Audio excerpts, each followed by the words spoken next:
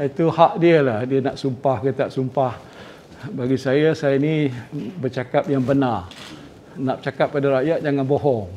Dan ada bukti dan malam tu saya dah tunjukkan has, uh, saksinya. Tapi kalau dia nak sumpah berapa kali sumpah sumpahlah. Itu serah pada dia lah. Saya tidak akan bersumpah pasal saya tak pernah berbohong. Apa yang saya sebut itu adalah satu yang hak. Dia kata kulil haqqa walau kana murrah kata yang hak yang betul walaupun yang betul tu kadang-kadang pahit didengar. Jadi saya sebut yang apa yang saya sebut itu adalah hak. Satu yang benar, bukan satu yang direka, hanya sengaja kerana politik nak pilih raya, tidak.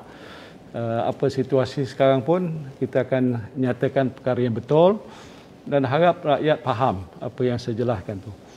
Okey? Apa dia? Uh, dah selesai. Antara parti-parti dalam PN dah selesai dah.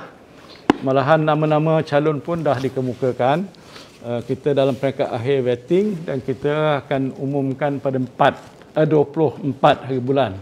Uh, uh, itu akan dibuat secara uh, rasminya di Johor nanti insyaallah